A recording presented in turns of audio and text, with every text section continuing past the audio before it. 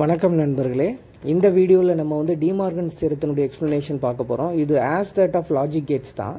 அதில் ரெண்டு இன்புட்ஸ் இருக்குது பாருங்கள் ஒரு அவுட்புட்ஸ் இதை நீங்கள் அந்த கன்சர்ன் டெர்மினலில் நீங்கள் வந்து அதில் கொடுத்து நீங்கள் அதனுடைய அவுட்புட்டை வெரிஃபை பண்ணணும். இப்போ ஃபார் எக்ஸாம்பிள் பாருங்கள் ஏஏ ஏயில் கொடுக்குறேன். பிஏ பியில் கொடுக்குறேன். அவுட்புட்டை எடுத்துகிட்டு வந்து அதில் அந்த கன்சர்னில் சாக்கெட்டில் போடுறேன் பாருங்கள் ஏ ப்ளஸ் பி ஆ.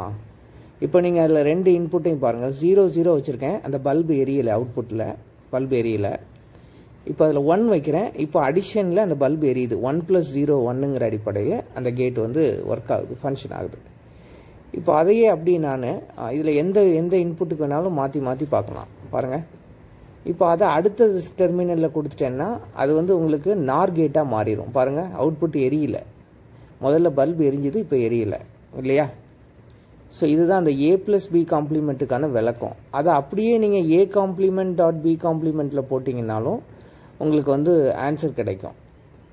நீங்கள் அதே மாதிரியே உங்களுக்கு தெரியும். அங்கே பாருங்கள் இப்போ இதில் செக் பண்ணிங்கன்னா உங்களுக்கு நம்ம உள்ளே இருக்கக்கூடிய ஸ்டேட் அது அப்படியே உங்களுக்கு பிரதிபலிக்கும். இந்த மாதிரி வெரிஃபை பண்ணிக்காங்க. ஸ்க்ரீனில் நீங்கள் இப்போ பார்க்குற அந்த ரெண்டு தியரத்தையும் first theorem as well second theorem ரெண்டையும் அதே மாதிரி எழுதுங்க. Inclusive of A and B இன்புட்ஸுங்கிறதும் சேர்த்து. அப்புறம் வந்து இந்த சர்க்கியூட் டயக்ராம் இதுக்கு ஒன் அண்ட் ஆஃப் மார்க்ஸ் தருவாங்க. இது பெரும்பாலும் இந்த கிட்லேயே இருக்கும். நீங்கள் பார்த்து கூட வரையலாம். தவறே இல்லை.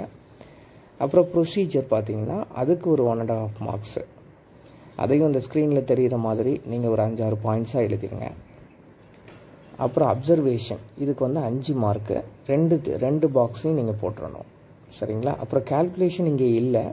அதை நீங்கள் லாஜிக் கேட்ஸுனுடைய சர்க்கியூட்ஸ் அந்த அதில் வரக்கூடிய ஃபார்மெட்டை பார்த்து எழுதிடுங்க. அப்புறம் ரிசல்ட்டுக்கு வந்து ஒரு மார்க்கு அவ்வளவுதான்.